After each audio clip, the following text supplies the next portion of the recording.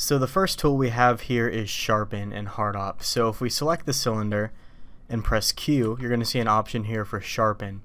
Now there's a few different settings in the Sharpen tool. Uh, very generically, if you just click on Sharpen, which we do 90% of the time, what it does is it applies smoothness and then it applies an auto smooth to it.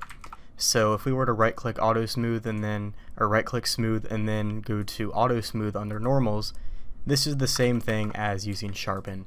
Now there's also other options in sharpen. The default one is left mouse button which is S sharp. Uh, S sharp and C sharp are the two main sharpen options. Very uh, simple difference. S sharp just sharpens it, applies smoothness and auto smooth, whereas C sharp does the same thing, but it also applies modifiers in your stack.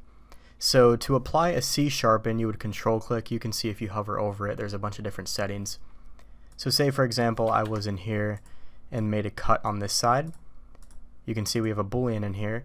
If I control click sharpen, this applies a C sharp, and you can see that applies the modifier.